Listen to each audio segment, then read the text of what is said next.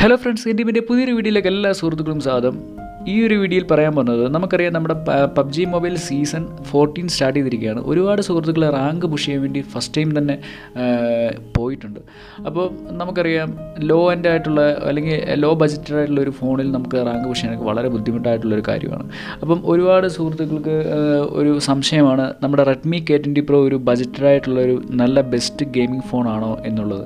അതേപോലെ തന്നെ Redmi K twenty pro ആണോ നല്ലത്? അതോ പൊക്കോ എഫ് എൺ ആണോ നല്ലത്? അതോ ഇനി വേറെ ഏതെങ്കിലും ഫോണാണോ ബെറ്റർ ഓപ്ഷൻ എന്ന് ഒരുപാട് സുഹൃത്തുക്കൾ ഡൗട്ടുണ്ട് അപ്പം ഈ ഒരു വീഡിയോയിൽ ഞാൻ പറയാൻ പോകുന്നത് റെഡ്മി കെ ട്വന്റി പ്രോ ഒരു ഗെയിമിംഗ് ബജറ്റഡ് ഫോണാണോ എന്നുള്ളൊരു ഡീറ്റെയിൽ റിവ്യൂ ആണ്. ഈ ഒരു വീഡിയോ ഇഷ്ടപ്പെടുവാണെങ്കിൽ ജസ്റ്റ് ഒന്ന് ലൈക്ക് ചെയ്യുക അതേപോലെ നിങ്ങളുടെ അഭിപ്രായങ്ങൾ ജസ്റ്റ് ഒന്ന് കമന്റിൽ അറിയിക്കുക അതുപോലെ ചാനൽ ഇഷ്ടപ്പെടുവാണെങ്കിൽ ജസ്റ്റ് ഒന്ന് സബ്സ്ക്രൈബ് ചെയ്യുക. അപ്പോൾ വീഡിയോയിൽ കിടക്കാം.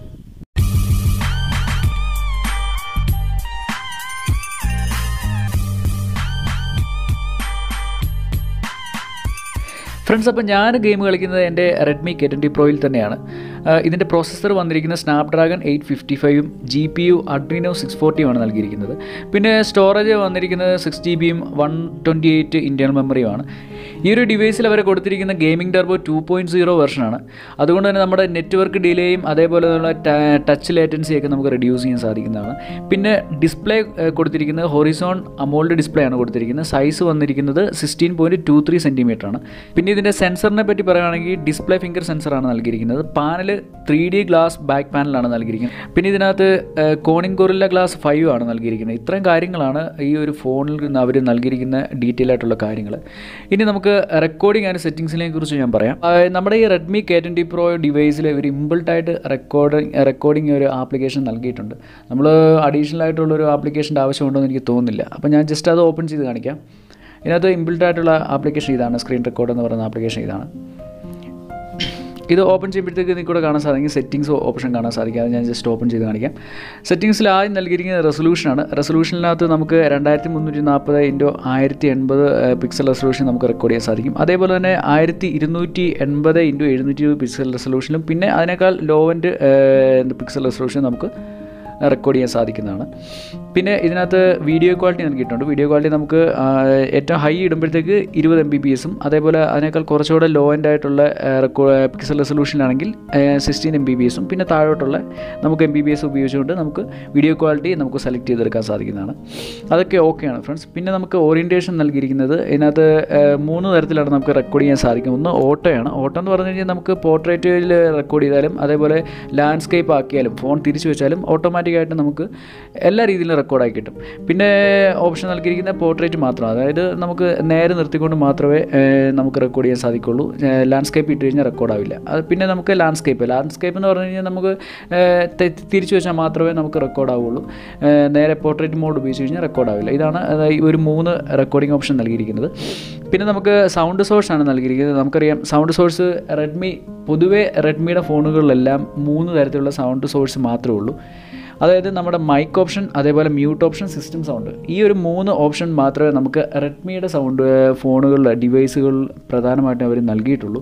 പിന്നെ നമുക്ക് ഈ ഇടയ്ക്ക് എനിക്ക് തോന്നുന്നു ആൻഡ്രോയിഡ് ഫോണിൽ ഈ ഇടയ്ക്ക് റിയൽമിയുടെ ഫോണിൽ അവർ പുതിയ അപ്ഡേഷനിൽ ഒരു ഫോർ ഫോർ ഹൺഡ്രഡ് എം ബിയുടെ ഒരു അപ്ഡേഷനിൽ അവർക്ക് സിസ്റ്റം സൗണ്ടും അതേപോലെ നമ്മുടെ ഇന്റേർണൽ വോയിസും കൂടെ ഒന്നിച്ച് റെക്കോർഡ് ചെയ്യാൻ സാധിക്കുന്ന ഒരു അതായത് നമ്മുടെ ഐഫോണിന്റെയൊക്കെ ആ ഒരു സിസ്റ്റം അവർ റിയൽമിയുടെ ഫോണിലേക്ക് കൊണ്ടുവന്നിട്ടുണ്ട്. പക്ഷേ ഒരുപാട് പേര് പറയുന്നത് ഫോണിൽ അത്യാവശ്യം ലാഗ് കൂടുതലാണെന്ന് തന്നെയാണ് പറയുന്നത്. അങ്ങനെ കൊണ്ടുവന്നിട്ടും വലിയ കാര്യമൊന്നുമില്ല എന്നാണ് അവർ പറയുന്നത്.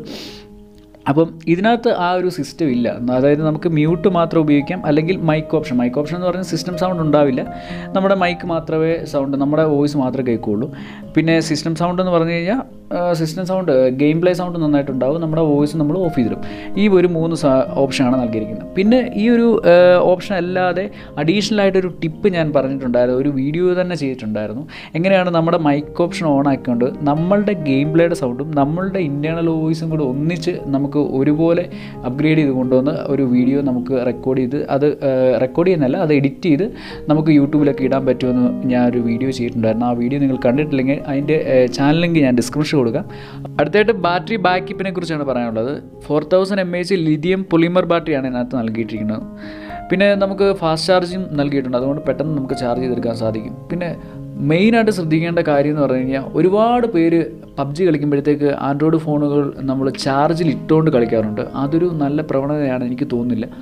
അപ്പോൾ നിങ്ങളുടെ അതെന്താ പ്രോബ്ലം എന്ന് ഞാൻ പറഞ്ഞുതരാം. നമ്മളിപ്പോൾ ചാർജ് ചെയ്യാതെ കളിക്കുന്ന ആ സമയത്ത് നമ്മുടെ ബാറ്ററി ബാക്കപ്പ് നമ്മൾ ചാർജ് ചെയ്തുകൊണ്ട് കളിച്ചിട്ട് പിന്നീട് നമ്മൾ ചെയ്യാതെ കളിക്കുമ്പോൾ ആ ഒരു ബാറ്ററി ബാക്കപ്പ് നിൽക്കുന്നതായിട്ട് നമുക്ക് തോന്നില്ല പെട്ടെന്ന് നമ്മുടെ ബാറ്ററി ഡൗൺ ആയി ഡൗൺ ആയി പോകുന്ന പോലെ നമുക്ക് ഫീൽ ചെയ്യും. അതുകൊണ്ട് ഒരിക്കലും നിങ്ങളുടെ ഈ ഒരു ഡിവൈസ് ഒരിക്കലും ഈ ഒരു ഡിവൈസ് എന്നല്ല നമ്മുടെ ആൻഡ്രോയിഡ് ഫോണിലെ ഡിവൈസുകളൊന്നും ബാറ്ററി നമ്മൾ ചാർജ് ചെയ്തുകൊണ്ട് കളിക്കുന്ന ആ ഒരു നല്ലൊരു പ്രവണതയാണെന്ന് എനിക്ക് തോന്നുന്നില്ല.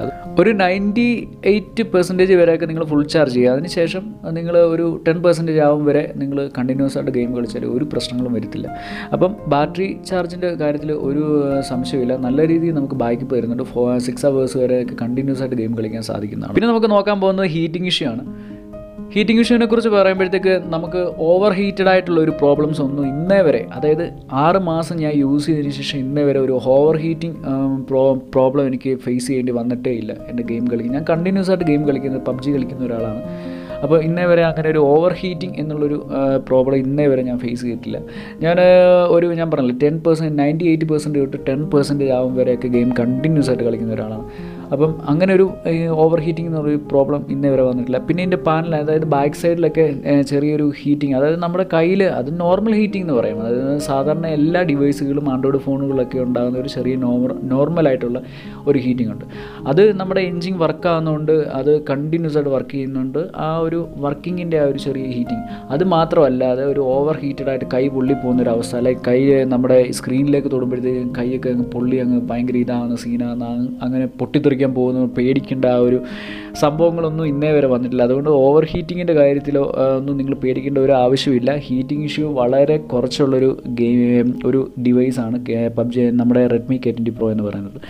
അടുത്തതായിട്ട് ഗെയിമിംഗ് ഗ്രാഫിക്സിനെ കുറിച്ചാണ് പറയാനുള്ളത്. ഞാനിവിടെ എന്റെ പബ്ജി ഓപ്പൺ ചെയ്ത് വെച്ചിട്ടുണ്ട്. അതിനുശേഷം ഞാൻ സെറ്റിങ്സിൽ പോവാണ്. സെറ്റിങ്സിൽ പോയിട്ട് ഗ്രാഫിക്സ് ഓപ്പൺ ചെയ്യുകയാണ് ഗ്രാഫിക്സ് ഓപ്പൺ ചെയ്യാൻ നിങ്ങൾക്ക് ഇവിടെ കാണാൻ സാധിക്കും. ഗ്രാഫിക്സ് കുറേ ഓപ്ഷൻസ് ഇവിടെ നൽകിയിട്ടുണ്ട്.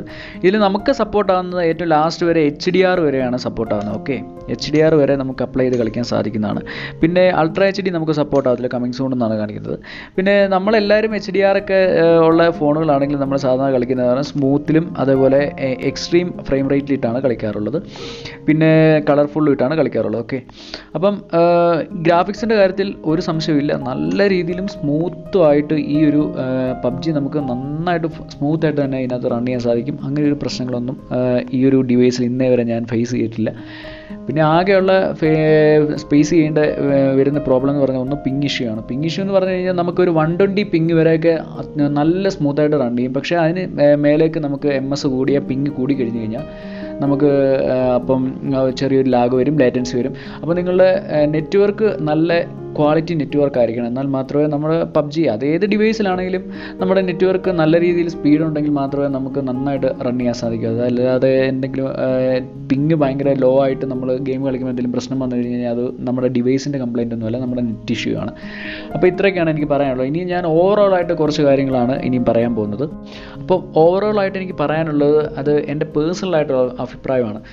അത് നമ്മൾ ഈ നിങ്ങൾ ആരെങ്കിലും അതായത് എന്റെ ഈ വീഡിയോ കാണുന്ന ആരെങ്കിലും നിങ്ങളൊരു പ്രൊഫഷണലായിട്ട് പബ്ജി കളിക്കുന്ന ഒരാളാണ് നിങ്ങൾക്ക് ഒരു യൂട്യൂബ് ചാനലുണ്ട് അല്ലെങ്കിൽ നിങ്ങളൊരു ലൈവ് സ്ട്രീം ചെയ്യുന്ന ഒരാളാണ് അങ്ങനെ ഒരു പ്രൊഫഷണലായിട്ട് ഒരു പ്രോ പ്ലെയറായിട്ട് കളിക്കുന്ന ഒരു സെറ്റപ്പിലേക്ക് ആഗ്രഹിക്കുന്ന ഒരാളാണെങ്കിൽ നിങ്ങൾ ഞാൻ ഒരിക്കലും ഈ ഒരു റെഡ്മി കെ ട്വന്റി പ്രോ ഞാൻ നിങ്ങൾക്ക് ഞാൻ റെക്കമെൻഡ് ചെയ്യത്തില്ല.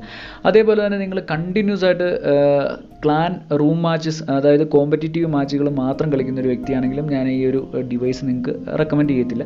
നിങ്ങൾ കുറച്ചും കൂടെ എന്താ പറയുക ബജറ്റഡ് ആയിട്ടുള്ള കുറച്ചും കൂടെ ബജറ്റ് കൂടിയതായിട്ടുള്ള എന്താ പറയുക ഗെയിമിംഗ് ഫോണുകൾ ചൂസ് ചെയ്യുന്നതായിരിക്കും നല്ലത്. അതായത് നമ്മുടെ ഐഫോൺ പോലത്തെ ഗെയിമിംഗ് ഫോണുകൾ ചൂസ് ചെയ്യുന്നതായിരിക്കും നല്ലത്. അതല്ല നിങ്ങളൊരു മിഡ് റേഞ്ച് നിൽക്കുന്ന ഒരാളാണ്. നിങ്ങൾക്ക് നല്ലൊരു ഒരു തേർട്ടി കെ ഒരു ബജറ്റ് ഉണ്ട് നിങ്ങളുടെ കയ്യിൽ തേർട്ടി കെ ബജറ്റിൽ നിങ്ങൾക്ക് നിങ്ങൾക്ക് ബെസ്റ്റ് ആയിട്ടുള്ളൊരു ഫോൺ വേണം. അതേപോലെ നിങ്ങൾ നല്ലൊരു പ്രൊഫഷണൽ ഒരു പ്രോ പ്ലെയർ ആയിട്ട് കളിക്കാനും താല്പര്യമുണ്ട്. പക്ഷേ നിങ്ങൾ ലൈവ് സ്ട്രീം ഒന്നും ചെയ്യുന്നില്ല അതല്ലാതെ നിങ്ങൾക്ക് അത്യാവശ്യം കുഴപ്പമില്ലാത്ത രീതിയിൽ എനിക്ക് വീഡിയോ റെക്കോർഡ് ചെയ്യണം കണ്ടിന്യൂസ് ആയിട്ട് എനിക്ക് ഗെയിം കളിക്കണം. അത്യാവശ്യം കുഴപ്പമില്ലാത്ത രീതി ക്ലാൻ റൂം മാച്ചൊക്കെ കളിക്കണം എന്നുണ്ടെങ്കിൽ നിങ്ങൾക്ക് ബെറ്റർ ഓപ്ഷനാണ് കെ ട്വന്റി പ്രോ എന്ന് പറയുന്നത് ഏറ്റവും ബെറ്റർ ഓപ്ഷനാണ് എനിക്ക് തോന്നുന്നു റെഡ്മി എന്താ പറയുക പൊക്കോ എഫ് വണ്ണിനേക്കാൾ ബെറ്റർ ഓപ്ഷൻ തന്നെയാണ് കെ ട്വന്റി പ്രോ എന്ന് പറയുന്ന ഈ ഡിവൈസ് അതല്ല നിങ്ങൾ ജസ്റ്റ് എന്റർടൈൻമെന്റ് വേണ്ടി പബ്ജി കളിക്കുന്ന ഒരാളാണെങ്കിൽ അതായത് നിങ്ങളുടെ ഫ്രണ്ട്സും ഒക്കെ കൂടുമ്പോൾ ജസ്റ്റ് ഒന്ന് കളിക്കാൻ വേണ്ടി പബ്ജി കളിക്കുന്ന ഒരാളാണെങ്കിൽ ഒരിക്കലും ഞാൻ ഒരു ഡിവൈസ് റെക്കമെൻഡ് ചെയ്യത്തില്ല. ഇത്രയും ബജറ്റായിട്ടുള്ളൊരു എന്താ പറയുക ഡിവൈസ് ഞാൻ റെക്കമെൻഡ് ചെയ്യത്തില്ല. ഇത് ഇതിലും കുറച്ചുകൂടെ ലോ ബജറ്റായിട്ടുള്ള ഒരുപാട് ഡിവൈസുകളുണ്ട് ഒരുപാട് ഫീച്ചേഴ്സ് ഉള്ള ഡിവൈസുകളുണ്ട് അതിലേക്കൊക്കെ നിങ്ങൾക്ക് ചൂസ് ചെയ്യാം. അതിലൊക്കെ ഏതെങ്കിലും ഒരെണ്ണം ചൂസ് ചെയ്യാവുന്നതാണ്. അപ്പോൾ നിങ്ങൾ നല്ലൊരു അത്യാവശ്യം കുഴപ്പമില്ലാത്ത ഒരു പ്രോ ലെവലിൽ ചിന്തിച്ച് അത്യാവശ്യം കുഴപ്പമില്ലാത്ത ക്ലാൻ മാച്ചുകളിലും അതേപോലെ എന്താ കോമ്പറ്റേറ്റീവ് മാച്ചുകളിലൊക്കെ കളിക്കാൻ പറ്റുന്ന പറ്റുന്ന ഒരു ചിന്താഗതിയിലേക്കാണ് നിങ്ങൾ പോകുന്നതെങ്കിൽ നിങ്ങൾക്ക് അത്യാവശ്യം ഗെയിം പ്ലേ ഒക്കെ നിങ്ങൾക്ക് റെക്കോർഡ് ചെയ്യണം എന്നുണ്ടെങ്കിൽ നല്ല ഒരു ബെറ്റർ ഓപ്ഷൻ തന്നെയാണ് മുപ്പതിനായിരം എന്താ പറയുക മുപ്പതിനായിരം രൂപയ്ക്ക് താഴെ ഏറ്റവും ബെറ്റർ ഓപ്ഷൻ തന്നെയാണ് കെ ട്വന്റി പ്രോ എന്ന് പറയുന്നത്. അതിൽ നൂറ് ശതമാനം ഗ്യാരണ്ടിയാണ് കാരണം ഞാൻ സിക്സ് മന്ത് ഞാൻ കണ്ടിന്യൂസ് ആയിട്ട് ഉപയോഗിക്കുന്ന ഒരു ഡിവൈസാണ് K Redmi K twenty pro എന്ന് പറയുന്ന ഈ ഒരു ആൻഡ്രോയിഡ് ഡിവൈസ് അപ്പം ഞാൻ ഇന്ന് പറയാനുള്ള കാര്യങ്ങളെല്ലാം പറഞ്ഞു എന്ന് വിശ്വസിക്കുന്നു. നിങ്ങൾക്ക് എല്ലാം മനസ്സിലായെന്ന് ഞാൻ വിശ്വസിക്കുന്നു. നിങ്ങൾ റെഡ്മി കെ ട്വന്റി പ്രോ എടുക്കാൻ ആഗ്രഹിക്കുന്നവരാണെങ്കിൽ അതിനെക്കുറിച്ചുള്ള ഫുൾ റിവ്യൂ നിങ്ങൾക്ക് ഗെയിം പ്ലേയെക്കുറിച്ചുള്ള ഫുൾ റിവ്യൂ നിങ്ങൾക്ക് കിട്ടിയെന്ന് ഞാൻ വിശ്വസിക്കുന്നു. അപ്പോൾ ഈ വീഡിയോയോട് നിങ്ങൾ എന്തെങ്കിലും അഭിപ്രായം എന്തെങ്കിലും മിസ്റ്റേക്കുകളൊക്കെ ഉണ്ടെങ്കിൽ നിങ്ങൾ ജസ്റ്റ് ഒന്ന് കമന്റിൽ അറിയിക്കുക. അതുപോലെ വീഡിയോ അഭിപ്രായങ്ങൾ നിങ്ങൾ കമന്റായിട്ടൊന്ന് അറിയിക്കുക. അപ്പം മറ്റൊരു വീഡിയോയിൽ കാണാം. അതിലേക്കും ബൈ